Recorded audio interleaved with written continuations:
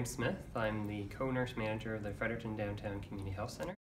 So the Fredericton Downtown Community Health Center has been uh, in planning for about 12 years and uh, we were successful in opening the downtown CHC uh, last March 14th, 2017 and uh, we're now celebrating our one year anniversary. so we have a variety of services here at the Fredericton Downtown Community Health Center.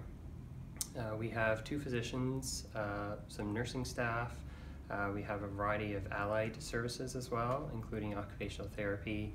Uh, we have respiratory therapy, a community developer that works here at the site, and uh, social work as well. So our core mandate at the Fredericton Downtown Community Health Center is to the vulnerable population that lives in the Fredericton downtown area primarily.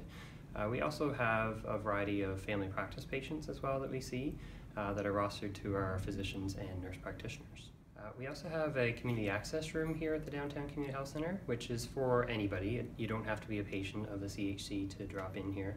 Uh, it provides, you know, warm space. Uh, we have coffee for the patients, and uh, it really connects those patients uh, in a non-invasive way to the services that we provide here.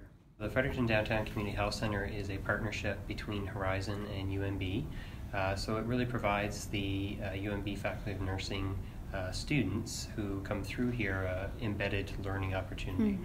So they really get to not just work within the center, but work uh, in nursing outreach on the streets of Fredericton. Mm. So we're quite proud to be celebrating our one year anniversary. Uh, within the last year, we've been really successful in growing our program and growing the center here in the Downtown Community Health Center.